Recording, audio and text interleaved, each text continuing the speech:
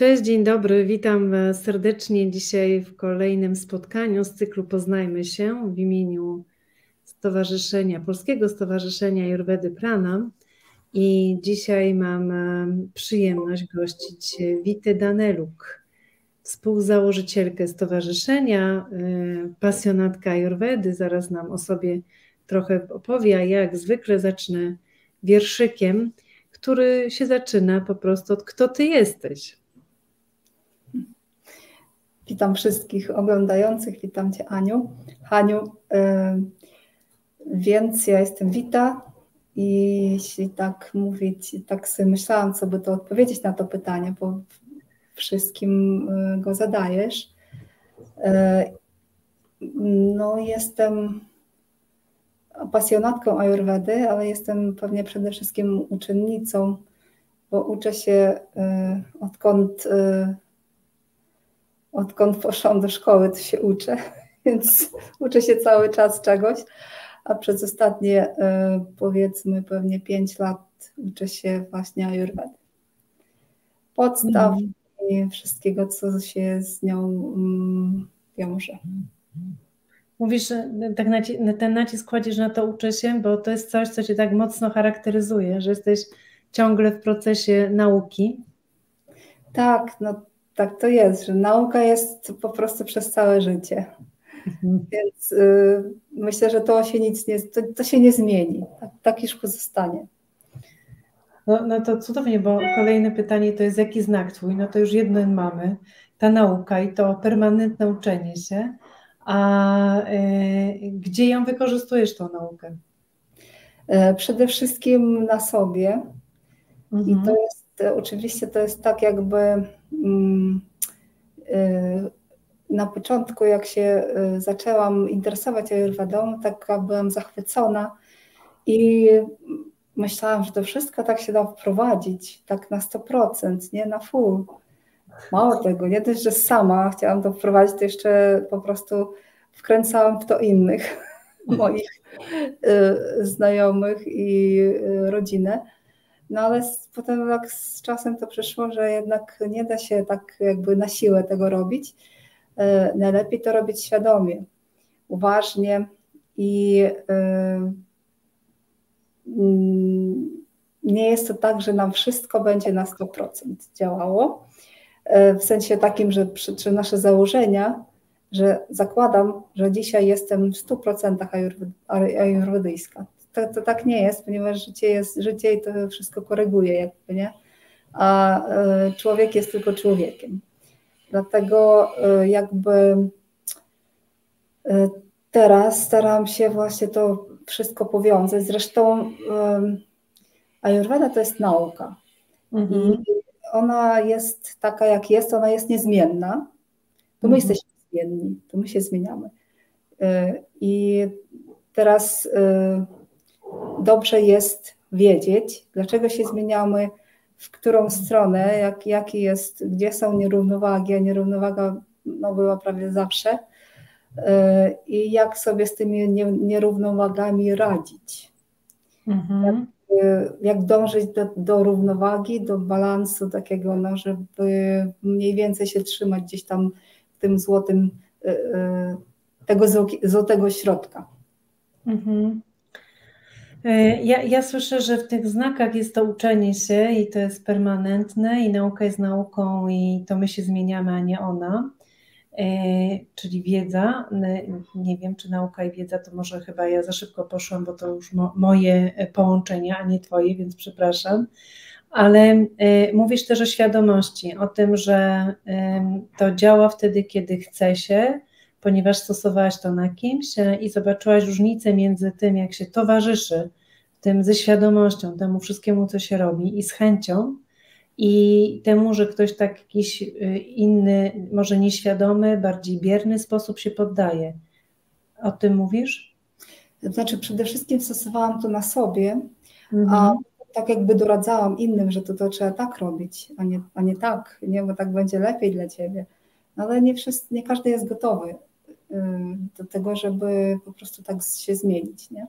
Także y, ja na przykład y, w ogóle przez ostatnie pewnie dwa lata, pomijając ten ostatni rok, to tak no, się starałam w ogóle, bardzo, bardzo się starałam, żeby mi się to udawało, no i było fajnie, dopóki nie miałam kontuzji kolana, które po prostu mnie odstawiło na boczny tor, jeśli chodzi o jogę. E, więc no, musiałam to jakoś sobie też e, zrekompensować w inny sposób, ale i wtedy od tej pory troszkę tak, takie to odejście od Ayurvedy się pojawiło w takim sensie, że mm, no jakoś tak nie, nie przestrzegałam tego aż tak, jak, jakby trzeba było, nie? chociaż zdawałam sobie tam gdzieś tam z tyłu głowy, zdawałam sobie sprawę, że tak być nie powinno, nie? Bo komu szkodzę, to sobie przede wszystkim. Ale szczególnie takiego właśnie tej uważności zaczęłam jakby mm, brak tej uważności zaczęłam dostrzegać gdzieś tak pewnie w lutym tego roku wraz z rozpoczęciem e, działań wojennych e, na Ukrainie i jakby to miało na mnie duży, bardzo duży wpływ, e, przede wszystkim emocjonalny, ponieważ no wiadomo, jestem związana z Ukrainą i jakby to, co tam się dzieje, to nie jest mi obce. Natomiast na mnie to zaczęło oddziaływać tak, że ja po prostu no, siedziałam w wiadomościach, żeby być na, na czasie, żeby wiedzieć, co się dzieje, dlaczego i jak. I przez to po prostu, co mogło, y, jeśli chodzi o, przede wszystkim o odżywianie, to, to to jakby odeszło na dalszy plan. Mm. Skutek czego pojawiły się nad, nadwymiarowe kilogramy. Także no, po, po, po jakimś czasie zdałam sobie sprawę, że to nie, nie tędy droga. I dlatego właśnie tutaj wkroczyła, wróciłam do tej uważności, żeby po prostu świadomie, w miarę możliwości, świadomie robić to, co jest dla mnie korzystne. Mhm. No, pięknie o tym mówisz i, i mówisz o, o, y, o, tym kolanie i ja, absolutnie Cię rozumiem, bo miałam podobną sytuację z kolanem i z kostką. U mnie się zaczęło od kostki. Natomiast wiesz, wiadomo, że wszystko dzieje, dzieje, się dzieje po coś. I jak to u mnie przyszło, to y, ja sobie pomyślałam, o, Panie, że to przyszło, to teraz lepiej zrozumiem osoby, y, będę bardziej empatyczna, w stosunku do tych, którym tak trudno wrócić, zobaczyć, jak to jest właśnie, jak się nie jest w tym, żeby to poznać, bo już może się zapomniało. I teraz, jak już ze świadomością byłeś, a teraz ze świadomością nie jesteś, i co to trzeba zrobić, żeby wrócić, to y, dla mnie to była taka, y, właśnie mówisz o nauce, to była bardzo fajna nauka. Y, więc dzięki Ci, że, że, że to mówisz, bo taki świadomy powrót, nie przez przypadek. Nie wiem, jak się Ayurveda pojawiła w Twoim życiu, zaraz do, do tego dojdziemy, ale to jest zupełnie już inaczej powrót właśnie z pełną świadomością po takim zdarzeniu jak kolano, czy kostka, czy coś tam jeszcze. I, i to nabiera jeszcze kolejnego smaku. Mhm, dokładnie. Tak właśnie takie zrozumienie. E, kogokolwiek, kogo tam, z kim rozmawiasz, znaczy, znaczy tutaj już jakby się nie zastanawiasz, bo to by trzeba było wiedzieć, e, co tam, co, co tam jeszcze za tym jest, e, jakby, nie? Z takim tak. człowiekiem i no tutaj nie da się ani na, jakby narzucać e, absolutnie, tylko, tylko zrozumieć. Dokładnie, zrozumieć, przyjąć, akceptować i dać wolność, tak jak powiedziałaś, że nie wszyscy są na pewne rzeczy gotowi. Nie? Więc e, e, gdzie mieszkasz? Bo mówisz, że jesteś emocjonalnie związana z Ukrainą, ale dzisiaj mieszkasz e, w Polsce. Gdzie mieszkasz dokładnie? Gdzie tak, Ciebie można znaleźć? W uroczym miejscu, to jest takie miasteczko pod Krosnem, de facto pracuję też w Krośnie i podkarpackie województwo. Uważam, że po prostu piękne ze względu na Bieszczady. Bieszczady są bardzo blisko i tam też lubimy często jeździć z rodziną. Mm. Czyli jesteś w okolicach Krosna, w Krośnie, tam działasz, działasz na online i właśnie można Ciebie znaleźć, już żeśmy o tym rozmawiały przed chwileczką, ale ja tutaj pokażę, na Facebooku, który taki masz profil, który się nazywa, nie, nie wyświetla się chyba, o się wyświetla teraz, Ayurveda 365, prawda? Tak, Ayurveda 365. Tak, i, I w Facebooku. Dokładnie. Nie mam jeszcze jakby tak swojego gabinetu, chociaż y, i tak preferuję y, konsultacje online, offline. Natomiast teraz y, to jest w stadium, mm, że tak powiem, zarodkowym, także w tej chwili na razie jestem dostępna online. Okej. Okay. E, mieszkasz e, w podkarpackim, w uroczym zakątku, ale e, co jest Twoim krajem? Skąd pochodzisz? Pochodzę z Ukrainy mhm. i mieszkam już w Polsce ponad 20 lat. Mhm. 20, 23 rok. No i czym ona dla Ciebie jest? Teraz wiesz ten kraj, bo bo w zasadzie nie wiem, ile masz lat, y, Wita, ale myślę, że tak y, z połowy życia to tutaj już mieszkasz. No tak, tak. To jest tak. Y, serce dzieli się na dwie części, więc Aha. jedna część jest w Ukrainie, druga jest w Polsce.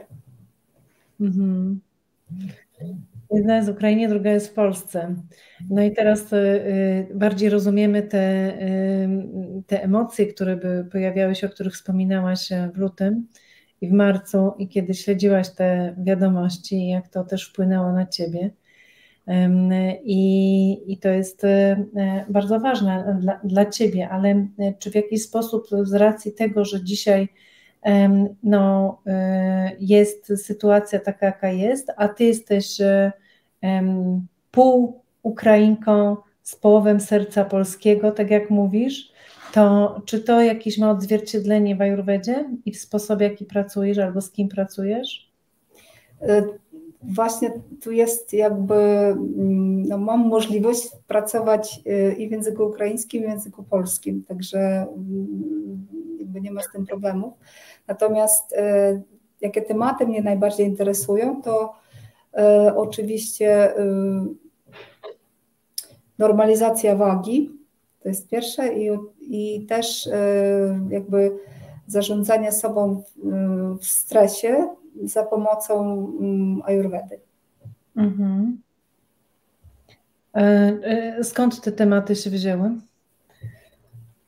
No to wszystko w sumie przeszłam sama i w sumie teraz jeszcze przechodzę z tą normalizacją wagi, ale no dobrze mi idzie.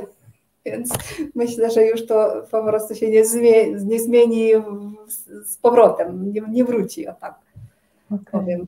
Natomiast ten stres to mnie zainteresował generalnie mm, właściwie od, od 8 miesięcy tak naprawdę, bo wiele jakby moich znajomych e, no, to dotknęło. Mhm.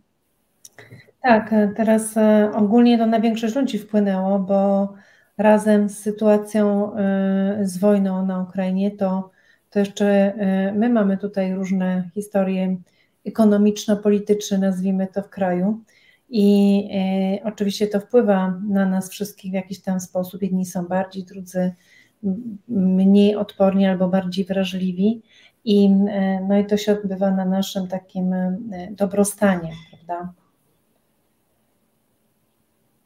Czyli ty e, mówisz, że, że sobie poradziłaś, zdobyta ona e, ta ojczyzna, czyli ojczyzna wagi i ojczyzna e, spokoju, mimo różnych trudnych rzeczy, które są na zewnątrz, zdobyta własnym doświadczeniem i, na, i tym, co, co działa na tobie.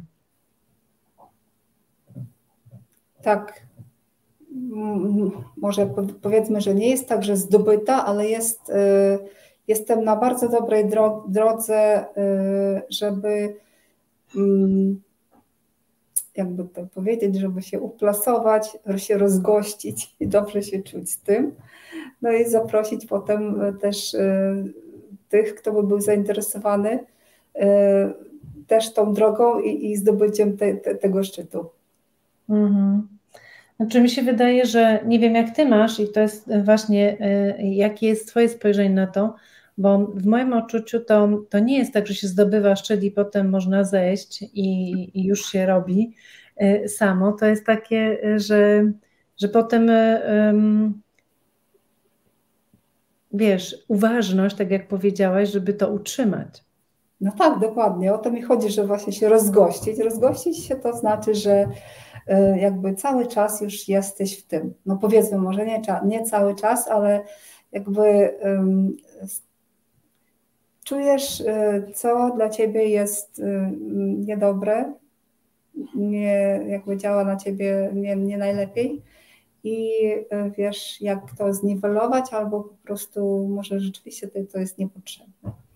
Tak jakby to jest też taki trochę wewnętrzny dialog, mm, więc tak jakby myślę, że każdy może to trenować i to nie kosztuje tak naprawdę nic ale pomaga to y, temu, żeby się zatrzymać mhm. i pomyśleć, pomyśleć, czy to jest dobre, czy nie, i wtedy stop, mhm, nie jest dobre. Mhm. Czy mówisz, że to jest takie zatrzymanie się i ja tu słyszę świadomy wybór.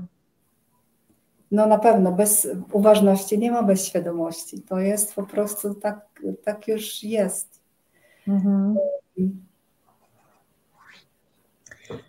Natomiast e, tutaj chciałabym, bo wiesz, e, jak e, ludzie myślą i mówią o ajurwedzie, to często interpretują ajurwedę jako właśnie zestaw diety, jakiś tam kolejnych, często myślą o masażach, to, co najbardziej Ci pomaga, no i, i, jeszcze zanim zadam pytanie, to jeszcze w związku z tym diety, to restrykcje takie bardzo czasami Y, ścisłe.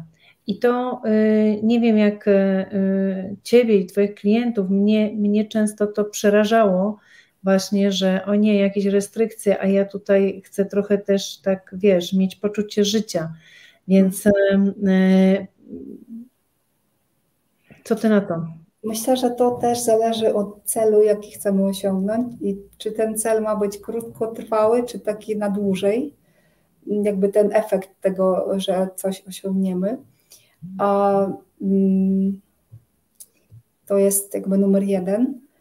A druga rzecz to może nie wiem, no jedni mówią, że wizualizacja pomaga, ja jakoś tak y, nie jestem przekonana do wizualizacji, to pewnie trzeba lubić, a ja tak jakoś nie bardzo, ale y, no, zdrowy rozsądek jest tutaj bardzo ważny, bo Przecież y, to, mm, jakby to powiedzieć, są zasady, na przykład, weźmy na przykład odżywiania, które są ważne, ale nie zawsze się da jakby je dotrzymać. Zastosować. Mhm. Tutaj po prostu trzeba jakby wybierać ten złoty środek, mhm. żeby ten złoty środek jakby, żeby się tego trzymać, ponieważ e, no, w 100% to nie sądzę, żeby ktokolwiek e, też tam by odpowiadał mm, za może w 100% się trzymał tych zasad. Natomiast e, myślę, że jest bardzo ważne, bo jeśli ktoś, są też właśnie przypadki, jakie są dolegliwości, bo jeśli to na przykład jest jakaś, jakieś przeziębienie, to tutaj myślę, że warto się trzymać takich e, ścisłych zasad, mhm. które po prostu no, zrobią, nie trzeba jakby się trzymać tego po prostu już do końca życia, ale w tym czasie, kiedy człowiek jest chory, warto po prostu przejść na, ścis na ścisłą dietę, pić taką wodę, a nie taką i no, w ciągu kilka dni to przeziębienie przechodzi po prostu. Mhm, w sposób naturalny, no tak. Za co kochasz Ayurvedę? Mówisz, że e, od pięciu lat się jej e, uczysz intensywnie, ciągle. Ja to potwierdzam, że tak jest. E, I za co, co, co najbardziej w niej cenisz, za co ją właśnie kochasz? To jest ci takie najbliższe, najważniejsze dla ciebie? No przede wszystkim pewnie to, że to jest właśnie jak można pokochać naukę. I tutaj jest, to jest to jedna odpowiedź. Jeśli nauka, to dla mnie to jest właśnie Ayurveda, ponieważ e, jest, jest to bardzo precyzyjna, e, mm, taka ludzka, no pewnie myślę, że to takie najważniejsze cechy, precyzyjna, ludzka, e, sensowna gałąź, taka, znaczy mm, powiedzmy nauka jednak, no bez tego słowa się nie obejdzie. I y, że tutaj jakby są zasady uniwersalne, ale też jakby na każdego człowieka patrzy y, pod innym kątem. To nie jest tak, że ktoś jest y, tam no, takiej samej konstytucji, a dla, tej, dla jednego i też jest niby jeden zdrowy i drugi zdrowy, a że będą powiedzmy zalecenia takie same, tak? No to mhm. wszystko może po prostu delikatnie się różnić. I tutaj właśnie jest taka zasada, właśnie nie pamiętam jak to słowo się nazywa, to tak jakby taki y, przesuwamy z prawa w lewo, nie pamiętam jak to się nazywa. Suwak jakiś chcesz tak, powiedzieć. Tak, dokładnie. Mhm. Mhm. I tutaj taki, tak właśnie regulujemy, w prawo, w lewo, troszkę dalej, troszkę bliżej. Czyli to mówisz o takim, o takim adaptacji do sytuacji, do człowieka. Tak, dokładnie. Tym, że, że są pewne rzeczy uniwersalne, a z drugiej strony jest ten człowiek, który jest niepowtarzalny. Tak. Tak, I sytuacja, tak. która jest, jest może niepowtarzalna i dzisiaj mam tak, a jutro może mieć inaczej. Tak jest. Tak jest. To właśnie to jest takie fajne, ponieważ no, y, mówię, jak się tyle jakby, no, czytam wiele różnych rzeczy i za każdym razem po prostu coś znajdę, coś takiego, co mnie zupełnie zaskoczy. No przecież tak. Są takie odkrycia no, praktycznie codziennie. Mhm. E, mówisz, że e, Ayurveda jest nauką, e, a kolejne pytanie jest, w co wierzysz? A w co wierzysz? I jaka jest część Twoja, która wierzy bez nauki, bez jakichś tam sprawdzania, tylko po prostu wierzy, bo wierzy. I co to jest, w co wierzysz w Ayurvedzie? To znaczy, no to jest, to powiedzieć, wierzyć, e, wierzyć w naukę, no to trzeba pewnie wiedza bardziej, mnie bardziej tutaj odpowiada wiedza, mhm. bardziej niż wiara, ponieważ e, no to nie trzeba wierzyć w coś, żeby. Znaczy, ja nie należę akurat do takich e, ludzi, którzy e, muszą na sobie wypróbować, żeby w coś uwierzyć, tylko dla mnie jakby wystarczy e, tłumaczenie no, takiej sensowności. Że, Musi być coś logiczne. Tak, dokładnie, logika, dokładnie. A mhm. logiki w Ayurvedzie jest pełno. Okej, okay, ale są te rzeczy, które po prostu, yy, wiesz, które e, nie są wytłumaczane w sposób logiczny. Po prostu tak jest. Są pewne założenia. Ponieważ, no to patrzmy e, na, nawet na to, że Ayurveda była przekazywana z ust w usta najpierw, od 10 powiedzmy tysięcy lat, tak, tak mówią, tak wyczytałam gdzieś w której książce. I najpierw to wszystko było przekazywane z ust w usta, i potem dopiero się pojawiły e, właśnie e, zapisy na sanskrycie. E, przecież to możemy sobie wyobrazić, jaka, jaki zakres informacji, które widzimy tam w szastrach, to jakby zawierało się w tych ustnych przekazach. To jest naprawdę, to jest mnóstwo tego. I jakby właśnie mi się bardzo to podoba, żeby e, może nie, żeby tą wiedzę e, potwierdzać mm, takimi wycinkami z szastr, czyli szloki na, na, na wszystko, co się da, nie? A możesz przybliżyć naszym widzom, słuchaczom, co to są szlaki? Szloki to są to są wersy, które są, były spisane na sanskrycie i one zazwyczaj są, są trzy rodzaje, z tego co pamiętam, może i, może i cztery rodzaje, w każdym razie tych wierszy, jakby sposobów pisania wierszy i one są zrymowane tak, żeby można było łatwiej je zapamiętać. Mhm. Ciekawą rzecz, bo ostatnio słyszałam, że e, tak można trenować pamięć też. E, bardzo dobrze to działa na mózg, zapobiega różnym e, takim chorobom, które są związane z zanikiem tego narzędzia naszego, które mamy w głowie. I można też te szloki, to już tak zupełnie odpływam od złotego środka, można te szloki czytać e, odwrotnie, jakby najpierw czytamy z prawa na lewo, potem można czytać z lewa na prawo i to już zupełnie e, mózg wymiata. Wymiata mózg. A słuchaj, e, kim ty jesteś dla Ayurvedy? Coś ty dla niej, czyli wiesz, jak to w ogóle było, to wasze spotkanie, ty i Ayurveda? Spotkanie przyszło poprzez zapalenie zatok które było leczone y, ze trzy razy, trzy razy pod dostałam antybiotyki i tam trzecie w końcu niby zadziałało, chociaż nie wiem tak naprawdę co zadziałało.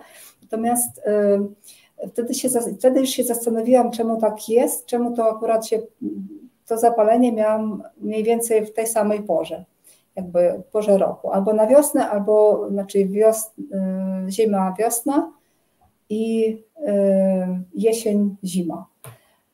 I tak właśnie musiałam się dokupywać do tego, czemu tak jest, co się dzieje.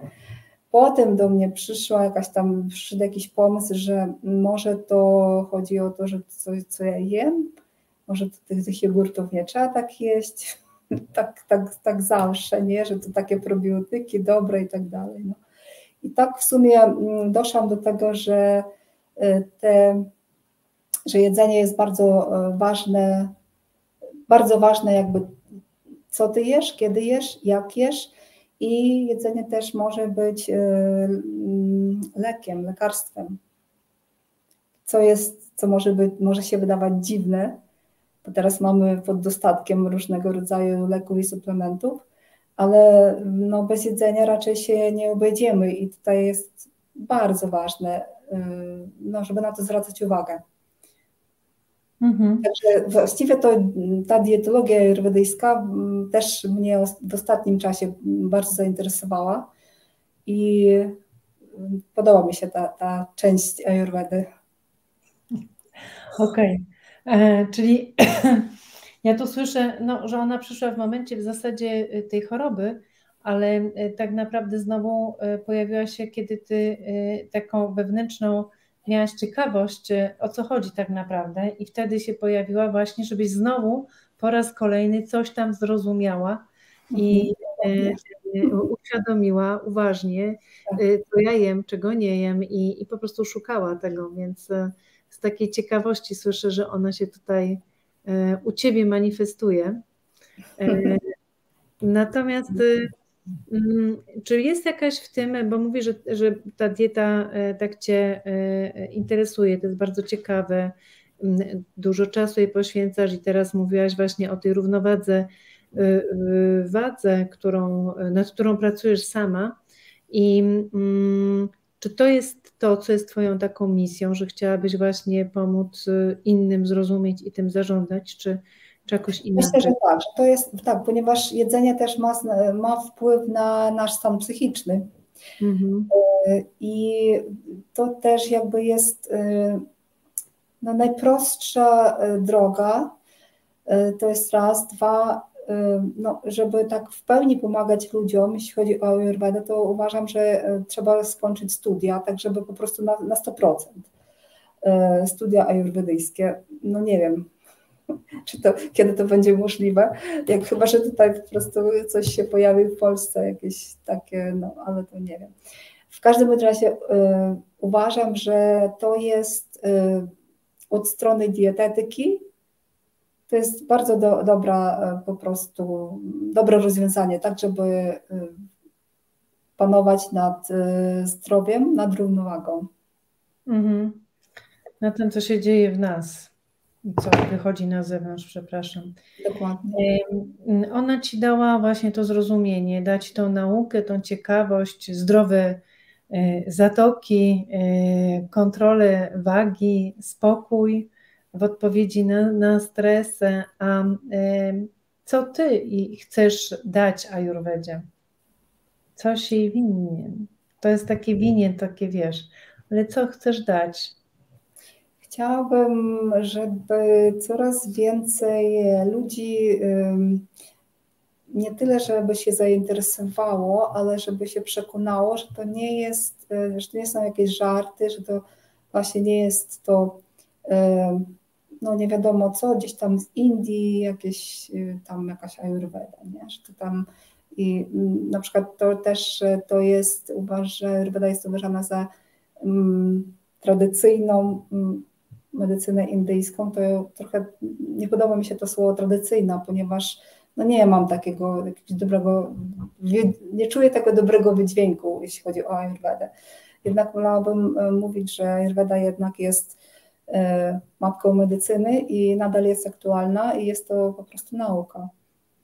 Mhm. I bardzo bym też chciała, żeby e, więcej, właśnie tak sobie myślałam, żeby jak więcej ludzi, między innymi lekarze, e, którzy studiowali tutaj na zachodzie, ale gdyby się zainteresowali i poszerzyli po prostu swoją wiedzę w zakresie ayurvedy, to byliby po prostu mm, no, wybitnymi e, specjalistami w swoich dziedzinach. A dzięki temu my bylibyśmy e, zdrowszym społeczeństwem, prawda? A to na pewno. Więc halo, halo, lekarze, jeżeli nas oglądacie, to e, zapraszamy Was do zgłębienia i poznania Ayurvedy. I... Tak, było fajnie, mówię, ponieważ e, tutaj może być taką przeszkodą właśnie taka, mm, taki stereotyp, że co coś tam Ayurveda, ale jakby tak po prostu powiedzieć sobie, dobra, dzisiaj stereotypy y, akurat mam, mają dzień wolny, ja sobie tak y, chcę zajrzeć, co to jest, y, a w internecie jest naprawdę dużo informacji i mm, może by ktoś też jakby się zainteresował bardziej. Ale też tacy ludzie, którzy szukają jakiegoś rozwiązania, które im no, nie jest dostępne, w zakresie takim, który mają. Myślę, że to też by było bardzo pomocne. I y, takie właśnie szerzenie, szerzenie wiedzy y, o Ayurvedzie, myślę, że to tak jest częścią tej mojej misji. Hmm. Ja też powiedzieli, że jesteś połowę serca jest ukraińska i że też e, zapraszasz e, i e, prowadzisz konsultacje po ukraińsku, więc czy chciałabyś teraz w jakiś sposób się właśnie po ukraińsku zaprosić, wypowiedzieć do tych, którzy Cię mogą słuchać albo właśnie nie mają zwyczaju słuchać polskich rzeczy w języku polskim, tylko właśnie do których by bardziej coś trafiło po ukraińsku? No myślę, że tak, jeśli ktoś się doczekał do, do, tej minuty, to mogę powiedzieć e, może kilka słów wsparcia i dosłownie, żeby to też nie trwało długo. Отже, хотіла би сказати, коли надходить такий момент, коли людина, здається, вже згортається в клубочок і нічого не хочеться, здається, що нічого не буде, якби доброго її не буде чекати. Пам'ятаємо, що ми такі люди, які воскресають як Фенікс з попелу, піднімаються, і якби десь ту силу треба в собі розштовхати, розбудити, нехай вона не засне. Будьмо оптимістами, все буде добре. Ті, хто зараз знаходяться поза межами України, але хочуть повернутися, тому що дуже скучають за своїми рідними, за своїми домівками обов'язково повернуться. Я просто в цьому впевнена, і країна наша буде відбудована. просто треба, треба тримати, треба якби дбати про своє здоров'я. Якщо вас щось цікавить, якщо я вам можу якось допомогти, то можете мені сміливо писати, дзвонити. Дані всі, якби контакти є в на, на сторінці на Фейсбуку Ayurveda 365. Tak, ja gorąco polecam. Wite, e, chyba wszystko zrozumiałam, ale w każdym razie może jakiś tam niuansów nie, e, ale na pewno zrozumiałam, że e, e Ukraina jest jak Feniks i powstanie z popiołu. Na pewno, tak.